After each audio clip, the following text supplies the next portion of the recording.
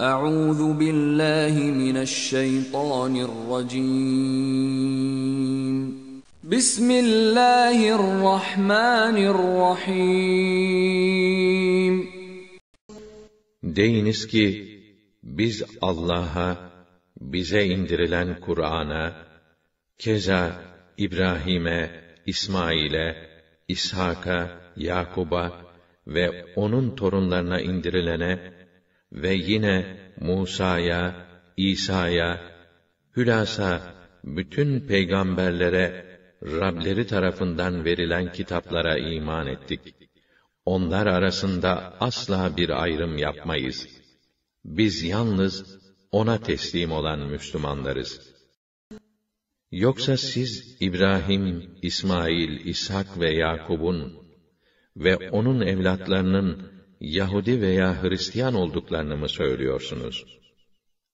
De ki, siz mi daha iyi bileceksiniz, yoksa Allah mı?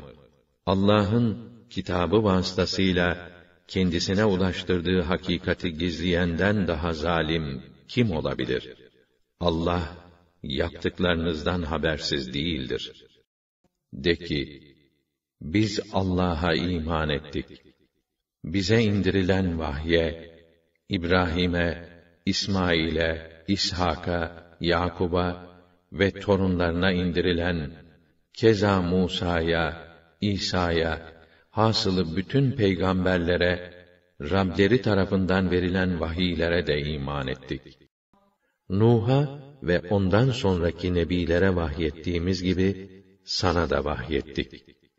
İbrahim'e, İsmail'e, İshak'a, Yakub'a ve torunlarına, İsa'ya, Eyyub'a, Yunus'a, Harun ve Süleyman'a da vahyettik. Davud'a da Zebur'u verdik. Biz ona İshak ile Yakub'u ihsan ettik ve her birinin nübüvvete erdirdik. Daha önce de Nuh'u ve onun neslinden Davud'u, Süleyman'ı, Eyyub'u, Yusuf'u, Musa'yı ve Harun'u da nübüvvete erdirdik. Biz iyi hareket edenleri işte böyle ödüllendiririz. Bu sırada hanımı da hizmet için ayakta durmuş, onları dinliyordu. Bunu işitince korkusunun geçmesinden ötürü gülümsedi. Biz de ona İshak'ın, onun peşinden de Yakub'un doğacağını müjdeledik. Evladım dedi babası.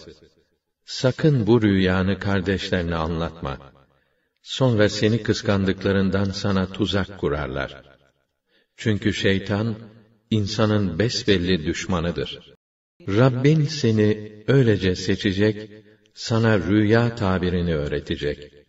Ve daha önce, büyük babaların İbrahim ile İshak'a olan nimetini tamamına erdirdiği gibi, sana ve Yakup ailesine de nimetini kemale erdirecektir. Çünkü Rabbin her şeyi hakkıyla bilir, tam hüküm ve hikmet sahibidir. Atalarım İbrahim, İshak ve Yakub'un dinine tabi oldum. Allah'a herhangi bir şeyi şerik saymak bizim için asla doğru olmaz.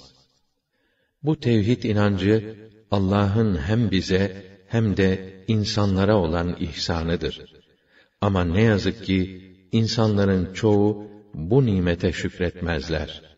Hamdolsun Allah'a ki hayli yaşlı olmama rağmen bu ihtiyarlık halimde İsmail ve İshak'ı bana ihsan etti. Şüphesiz ki Rabbim duayı kabul buyurur. Ona ayrıca İshak'ı, üstelik bir de Yakub'u ihsan ettik. Hepsini de erdemli insanlar kıldık.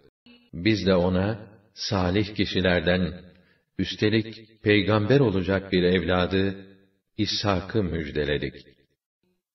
Kendisine de İshak'a da feyz ve bereketler verdik. Onların neslinden gelenler arasında iyi davranan da var, kendi nefsine açıkça zulmeden de. Ey Resulüm! Kuvvetli ve basiretli olan o zatları, kullarımız İbrahim, İshak ve Yakub'u da an.